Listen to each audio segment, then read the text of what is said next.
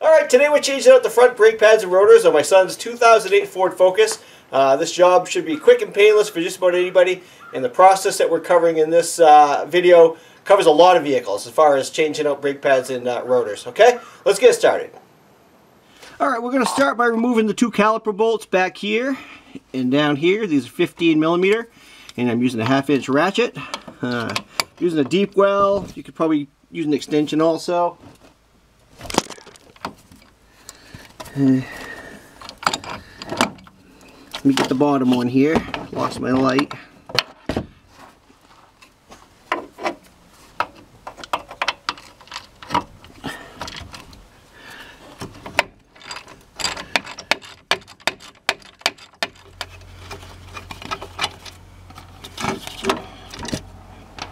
Alright. Alright, so if your uh, rotor's developed a ridge, you might need to pry this off. Um, so you could use a screwdriver or the butt of your ratchet or something. Uh, when it starts, you'll see it'll, it'll break that ridge. It'll go over it. And I'm just going to use a jack stand to support my caliper so the weight of the caliper is not pulling on this brake hose here, okay? Let's go ahead and get this rotor out of the way. Let's take a look at the back side of this thing. It looks pretty crusty. Yeah, how are we liking that rotor? Can't wait to see the pads. Alright. Alright, let's take a look at the pads here. And the inner one's pretty much gone. The outer one uh, has a lot of meat left on it. So that means something's sticking. Either the uh, caliper piston is sticking or these pins here. We're going to uh, tear those apart and grease them up anyway. So see if we can get our pads out here. This one's got the spring clips um, on the back and I'm just going to bend these out of the way to, to remove the pads. We have new pads anyways.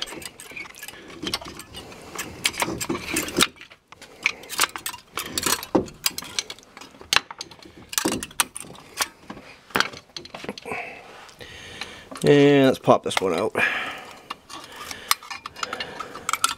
I just felt the the pins, the slides let loose, so those were sticking, I could tell.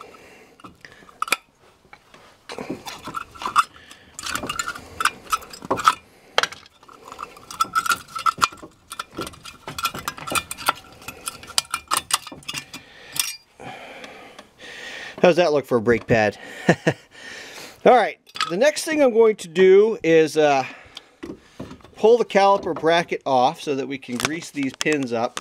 Try not to rip these boots. If they are, if they're torn, you want to replace them. Um, if they're not, then just, see they are a little bit stiff. So this is supposed to slide back and forth like that. It just came loose on me.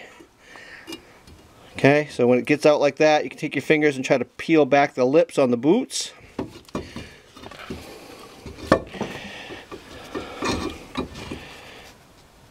You can see what I mean here. Okay, and then that'll pull right out.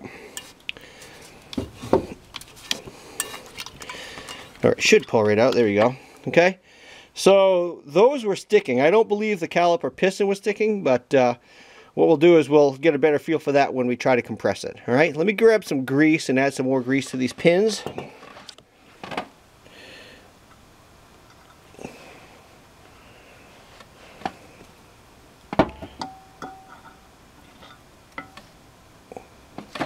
And I'll just put a little dab in the end of these boots also.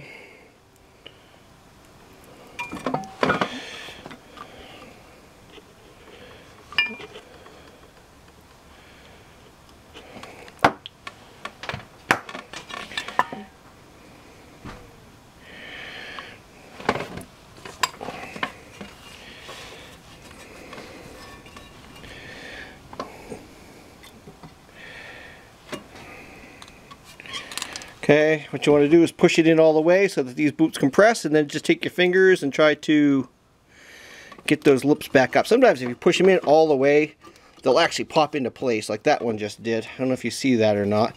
Check all the way around, all sides. Uh, this one didn't. And there it goes right there. Make sure it's on. pull it in and out, make sure the boot doesn't come off, make sure it's moving smoothly. Okay. Next thing I'm going to do is compress this uh, caliper piston here. But before I do that, I'm going to loosen my master cylinder cap. All right, so let's go ahead and do that real quick. And we're just doing this uh, in case your uh, brake system is really full. It just gives a place for the fluid to go. Then we'll pump the brakes and fill it back up after we take it for a test drive, all right? All right, so what I've done is I've just taken the old brake pad, I stuck it back in place here, and I'm using a 5-inch C-clamp. Um, and I'm just going to go ahead and slowly compress that piston. And it is going back easily, so I'm thinking that it was the pins that were sticking.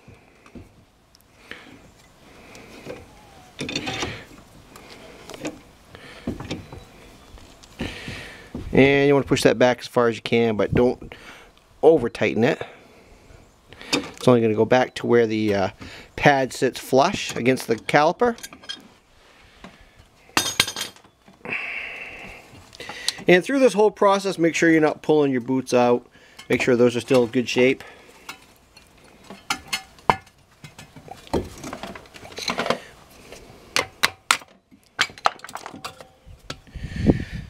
Alright, let me get the new pads here. Okay, so on these brake pads, they have these uh, spring tensioners.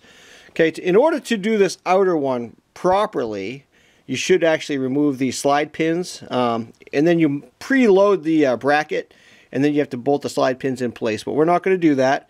I'm just I'm just going to finagle this uh, tensioner um, through the caliper bracket, okay? When we get to that one, I'll show you. On the inner one, we're going to feed it in from the back. So you need to get a little bit of space. Slide your caliper bracket out like that. And you're going to drop your pad down in. And then you need to get these edges into the little slides. And it's going to be tough to get caught on camera, but I can show you the finished product when I'm done. Alright, so that's what it should look like when you have your brake pad in place. Um, you've got these little ears that slide into place. Now your outer one needs to be in the same position. And again, because of these uh, spring tensioners, um, typically what you'd have to do is remove these caliper pins, the actual pins themselves, okay? I'm not going to do that. I'm just going to finagle these uh, out of the way, get it in place, and then I'll bend them back, okay? So it actually goes like that. Alright, let me go ahead and get that one in.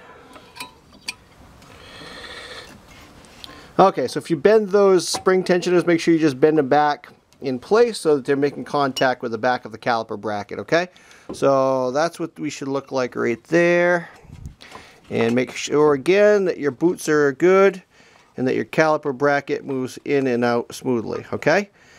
All right, uh, let's get the rotor. Let me set this out of the way using my jack stand here. Alright, we're just going to spray down the uh, new rotor with some brake parts cleaner. Uh, if you don't have brake parts cleaner, use something like carburetor cleaner. Uh, you don't want any kind of a lubricant or anything that's going to leave a residue. what we're trying to do is remove residue here. So, And I'm just going to try not to touch the surface of the rotor, but ultimately you'll end up with some fingerprints on there. Just don't want a bit, bunch of grease. Okay.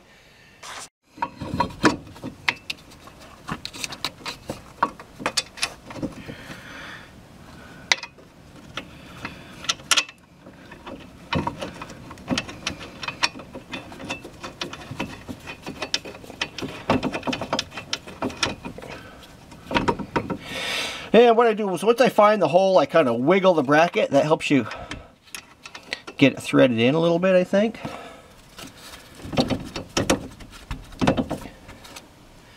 All right, let me grab my socket here.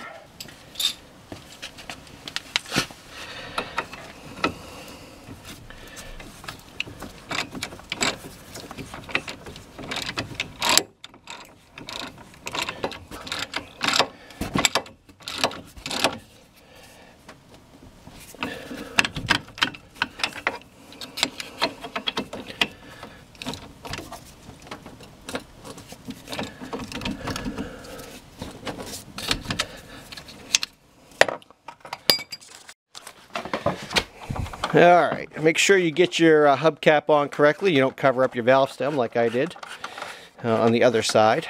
Of course, you don't see those mistakes. Hey, thanks for watching. Hopefully this video has been helpful. Uh, leave questions and comments below.